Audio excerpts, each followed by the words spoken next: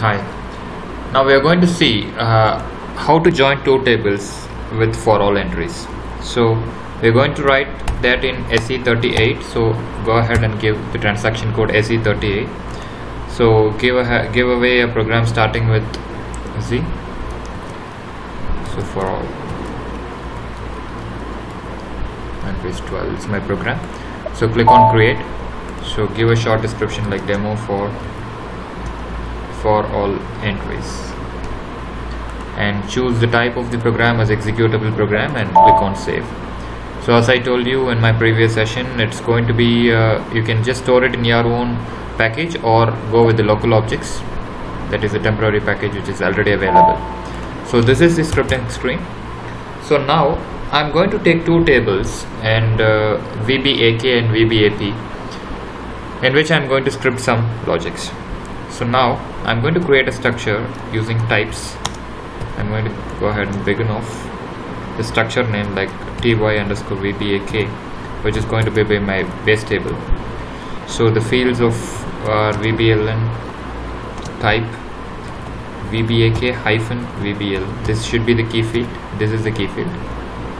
And the second thing is second field is that er dat so it is vbak hyphen er dat so third field is ernam type vbak hyphen ernam so these three fields i'm going to take for my demo. So i'm going to end my structure like ty underscore vbak so now this is the structure for one standard table and right now i'm going ahead and creating a structure for one more table which is vbap so ty underscore vbap so the same key field should be there in order to join two tables. In order to join join two tables the two tables should have this common key field. Hyphen vbeln so the second field is posnr since i know the field orders in the standard table i'm going ahead. But you have to go to SE11, check what is the field and come back and set it out here matnr is the third field type vbap hyphen matnr so end my structure i'm going to end my structure end of ty underscore vbap so i have created two structures and uh, now i have one more structure called the final structure which which will start this way like sorry it's big enough ty underscore final. Which should have the combination of these two structures. So i'm copying all the fields from vbak structure and i'm pasting it over here. And since i've already used vbeln i'm not going to use it again so i'm just planning and pasting it over here. And i'm ending my structure. Yeah. Now I'm going to create a work area and internal table for all the structure. Like this data work area underscore vbak type ty underscore vbak and it stands for internal table internal table underscore vbak type table of ty underscore vbak so uh, I'm just going to copy this paste it over here and just change the name of the work area and the structure.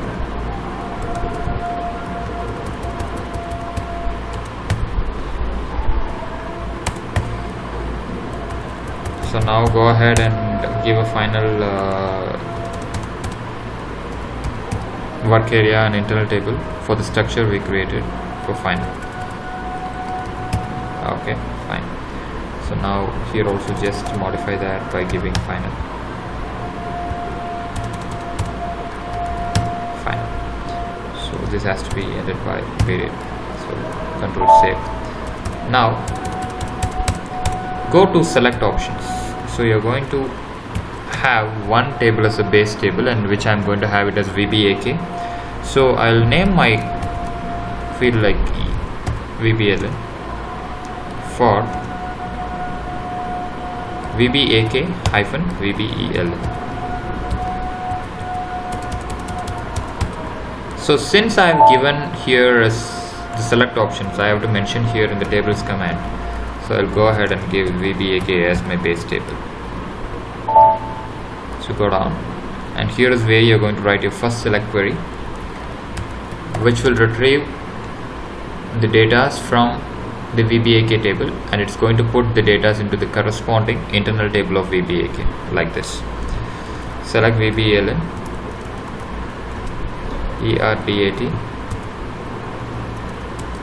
ERNAM from VBAK, put it in the table into table IT underscore VBAK, where condition?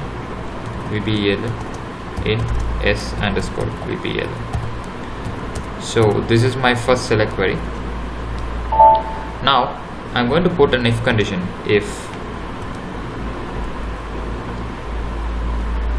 it underscore vbak is not initial it means it has got some values in it.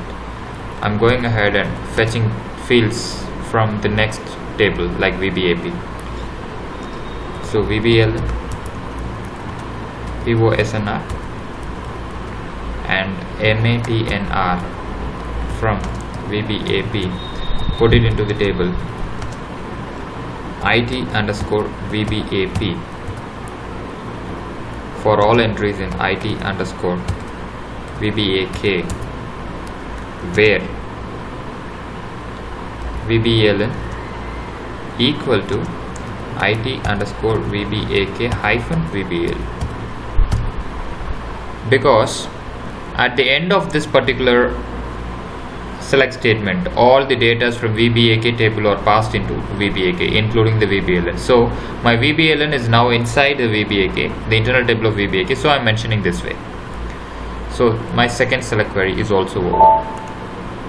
So now I'm going to bring these two contents together with a loop statement.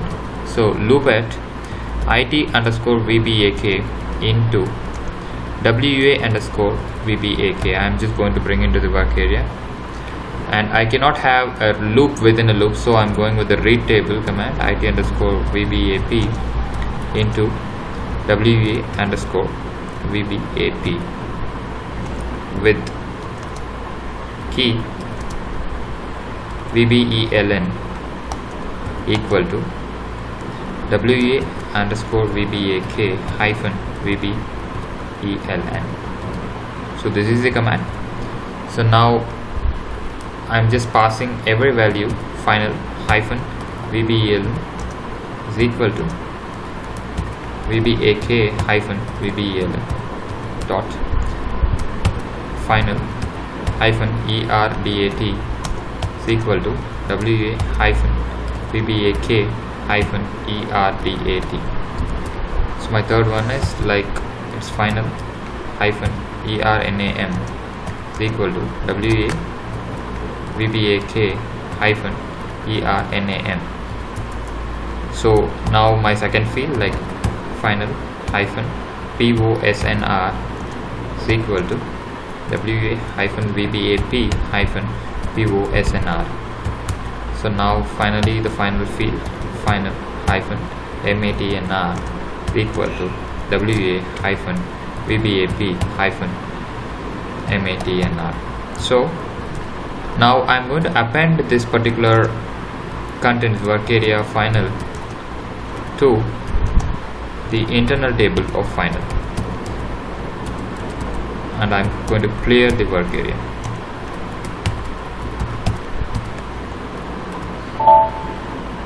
so now it's a usual procedure. We cannot display from the internal table so I'm just bringing back into the work area.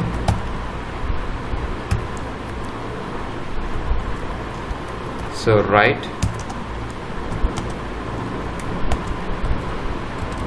Now every data is inside final so our first field is VBELN comma wa hyphen underscore final underscore erdat WA underscore final hyphen ERNAM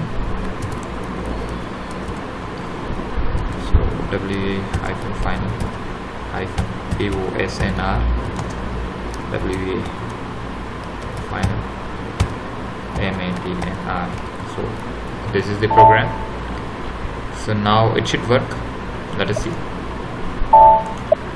yeah it is syntactically right so I'm activating it.